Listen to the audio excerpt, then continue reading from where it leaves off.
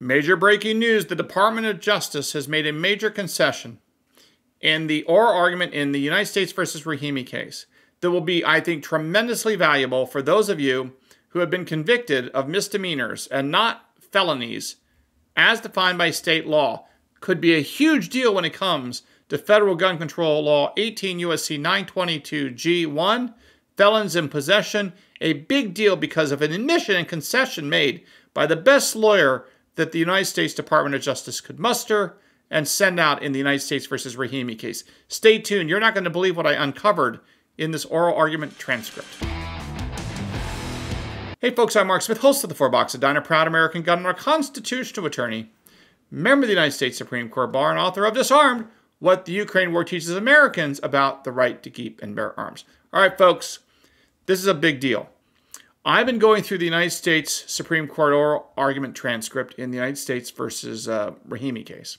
And what I've been doing is laser focused on statements being made by the United States Department of Justice because they sent out the Solicitor General of the United States, one of the leading officials for the Biden administration, a Supreme Court, uh, and a position that is nominated by the President of the United States and confirmed by the United States Senate. Of all the people that Attorney General Merrick Garland decided to send out to fight against our civil rights, against our constitutional right to bear arms, this is who she, he sent out, which is a, a Solicitor General Elizabeth uh. And any statement that she made to the U.S. Supreme Court is binding on the Department of Justice. And that's why I'm looking very carefully at things that she said that we could potentially use against the Department of Justice, as well as other government agencies, in our fight to maintain and advance our right to keep and bear arms under the Second Amendment. And I found yet another example. Specifically, there's a discussion here, and I'll play the tape for you as I always do, between the Solicitor General and Chief Judge John Roberts, Chief Justice John Roberts. Now, this is particularly important, this colloquy, because it really shows that the U.S. Department of Justice is drawing a distinction between who can be disarmed and who cannot be disarmed. And one of the ways that she did it in this is very interesting because she basically said that in her position, the position of the Department of Justice, those people who've committed crimes that are classified as misdemeanors or minor minor criminal conduct under state law cannot be disarmed.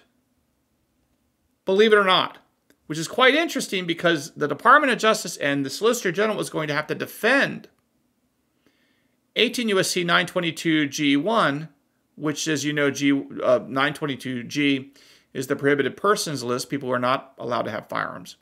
And G1 specifically says that if you're a felon, if you're convicted of a felony, you are not allowed to have guns. And for those of you who are geeky, you know that if you're convicted of a state misdemeanor, hear me this is, listen carefully.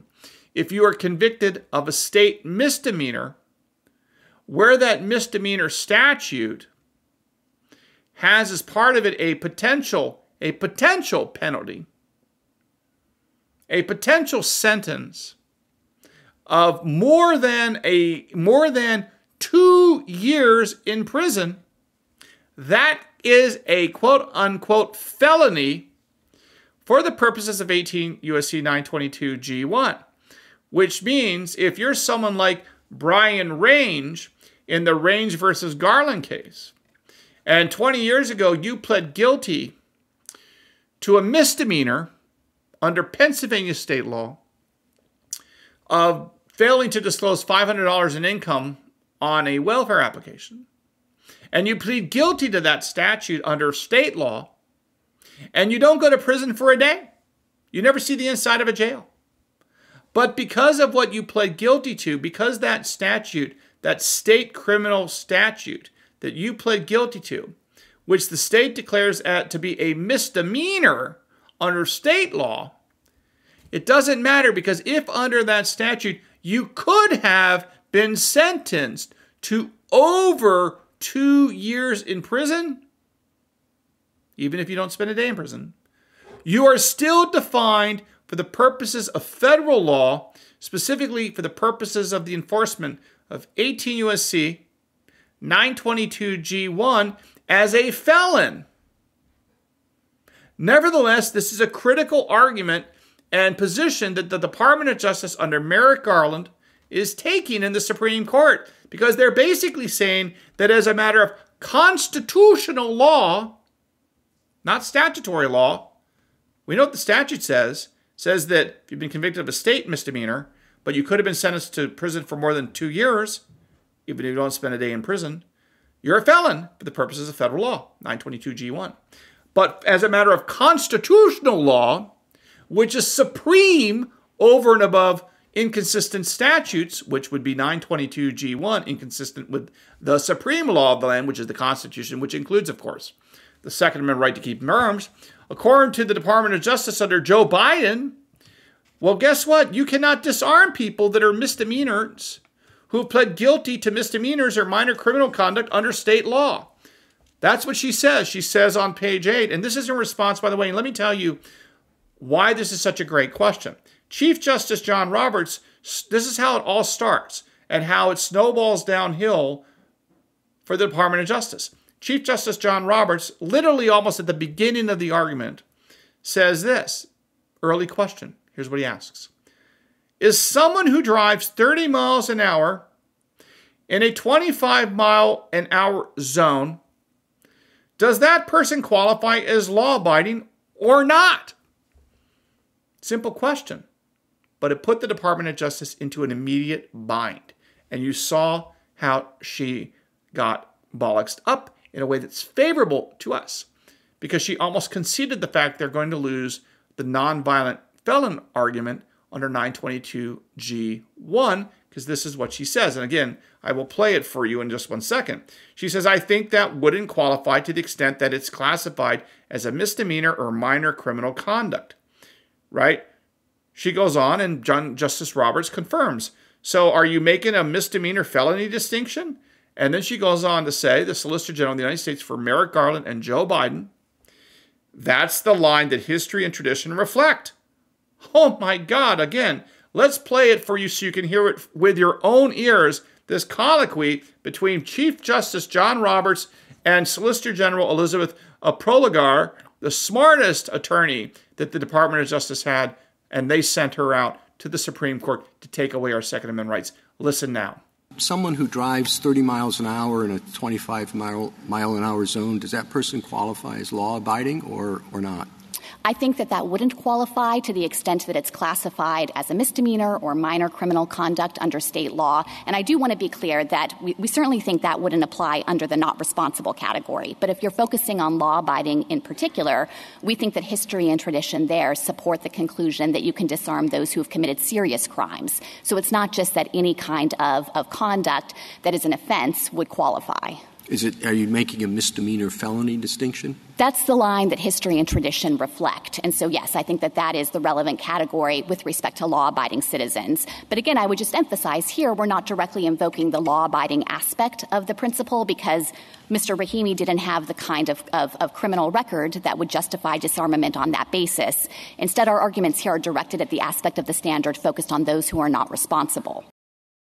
Well, that was pretty telling, but it gets actually more damning, believe it or not, for the Solicitor General, the Department of Justice, and Joe Biden's anti gun administration, with a question and answer period between Justice Brett Kavanaugh and again, General Prelogar. Justice Kavanaugh says, just to be clear, one category you think the government can prohibit possession of by those who are not law abiding uh, are those that are involved with serious offenses. And then she answers, that's correct, which we would define by felony level punishment. But that's quite interesting, right? Because felony level is felony level. It seems to be not misdemeanors, which which really I think this is the sort of thing we would use in a 922G1 case, such as the Range case, if that gets granted cert. I'm sure these kind of observations will be made in the briefs to the U.S. Supreme Court to be like, hey, they've already conceded the point. Right here in the Rahimi case, Solicitor General said it. Here you go. She is estopped. Estoppel doctrine says she's estopped from denying she said this and from the binding nature of this on behalf against the United States government. We'll see what happens. Let's play this for you right here, right now, just so you can hear it with your own with your own two ears. Just to follow up on your colloquies with the Chief Justice and Justice Sotomayor, I just want to make sure I have the terminology exactly correct as you see it. Uh, one category you think the government can prohibit possession by those who are not law abiding, and you said that uh, encompasses serious offenses. Is that correct? That's correct, which we def- would define by felony level punishment. All right, so there you have it. You heard the colloquies between Chief Justice John Roberts and the Solicitor General, and also between Justice Brett Kavanaugh and the Solicitor General. And again, it seems to me they are admitting that if you're simply a misdemeanor or a person who's been convicted of a misdemeanor crime in state law, as a matter of Second Amendment constitutional law, you cannot be disarmed, which is going to be very interesting how these arguments may come back to bite them on the butt uh, when it comes to the Range case, or if not the Range case, another case, although I think it will be Range. We'll see what happens. Uh, nevertheless, going to be very exciting times. I'm going to continue to look through these uh, transcripts, and I'm going to continue to look at every single thing the Department of Justice says to see if we can find other ways to hoist them on their own petard and protect our right to keep and bear arms, because it's very important. We all know this, and I'm looking for every single way to do so. So, all right, folks. Uh, I hope you learned a little bit something here today at the Four Boxes Diner. Make sure you subscribe, share this video, uh, like the video, and don't forget to follow me on X at Four Boxes Diner. And we will see you guys here at the Four Boxes Diner soon enough. Orders up. Table 2A.